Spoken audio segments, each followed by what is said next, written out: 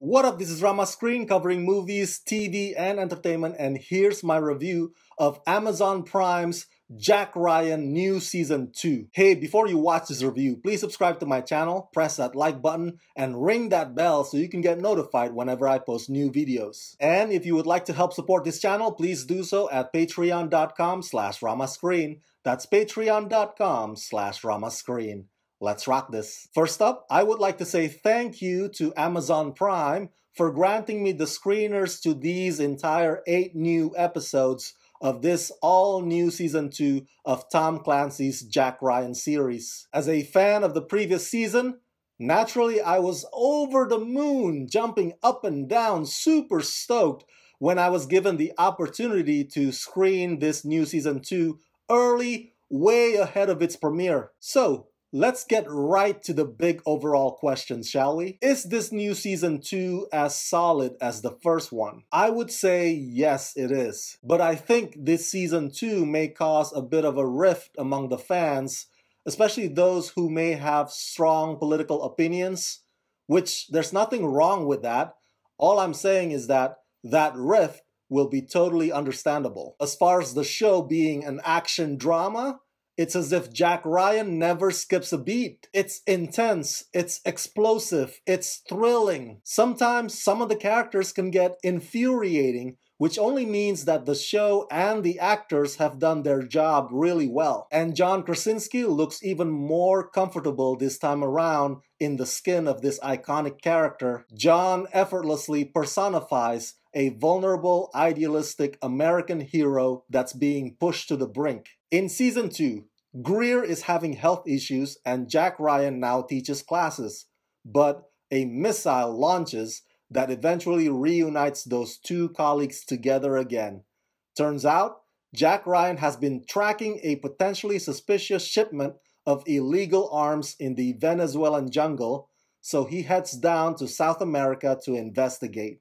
But during that process, the president of Venezuela launches a counterattack which results in a casualty that Jack takes very personally.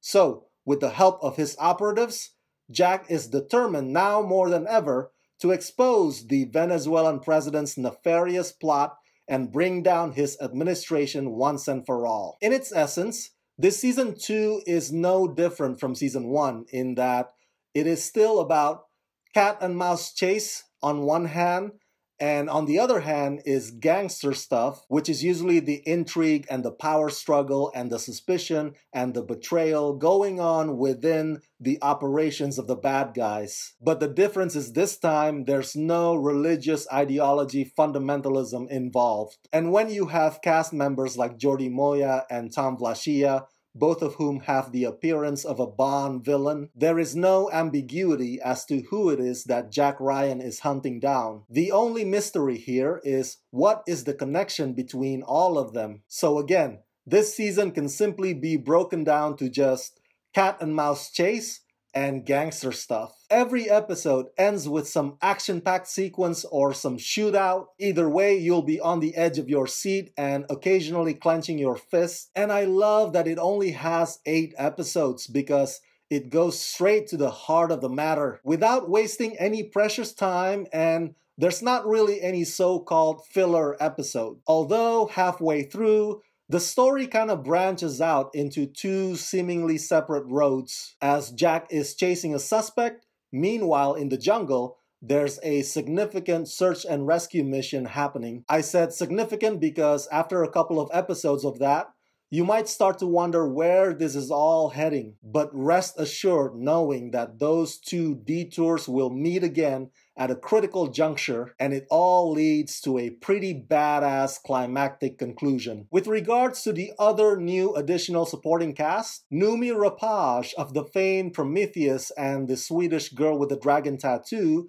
is here as the character Harriet Baumann who basically has her own agenda. I've been a big fan of Noomi Rapace for quite some time, although many of her Netflix movies have been terrible. That said, Noomi's role in this new season is not that big. She only helps with, give or take, about 30% of the plot. And once she's done with, the story moves on back again to being Venezuela. But during those few episodes, Noomi does deliver. She brings her usual femme fatale persona, and it fits like a glove. Michael Kelly of the famed House of Cards series plays a station chief Mike November, he is basically the guy that Jack and Greer answer to. Mike November might start out as your usual hard ass bureaucratic boss, but eventually he becomes like a boss that you wish you had. Now, maybe the character Jack Ryan that you read from Tom Clancy's novels is slightly different from the way that John Krasinski portrays him. My impression is, from John's performance in this new season, Jack Ryan is the guy that almost but never really crosses the line to become Jack Bauer.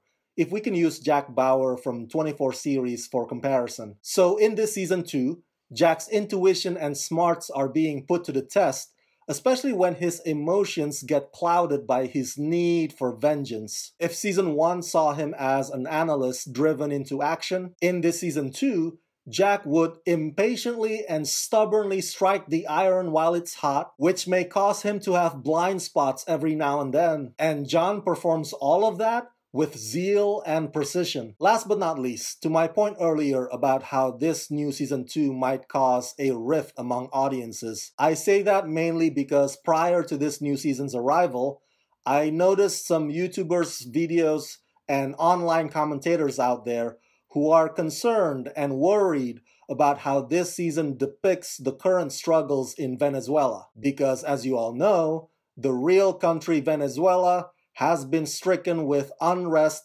and uprising and economic downfall for quite some time. Well, let me tell you, even though Jack Ryan Season 2 uses the country Venezuela, the country's problems and the leaders, they're all fictional. The evil president, for example, played by Jordi Mollà, his moral bankruptcy and his refusal to give up power is something that can apply to any other dictator from any other country not just Venezuela. This show is not meant to recapture or recreate the actual thing. Remember, it's just a TV streaming show. But if you do find this whole thing to be a turn off, if you strongly believe that this show should not mislead audiences about the realities on the ground in Venezuela, well, then that's your prerogative, man. The way I see it is this is just like any other action thriller global spy drama that uses an actual country but creates a fictional dilemma for that country. And it's a practice that's been done in cinemas for decades. At the end of the day, I find Jack Ryan Season 2 to be highly addictive. You may be able to see the twist and turn coming a mile away, and you may even argue that this new season is more straightforward or more style than substance, but I'd be lying to you if I said that it wasn't hella entertaining. And trust me, the last episode, aka episode 8 in particular, is absolutely satisfying. What a bloody damn great new season. Welcome back, Jack Ryan.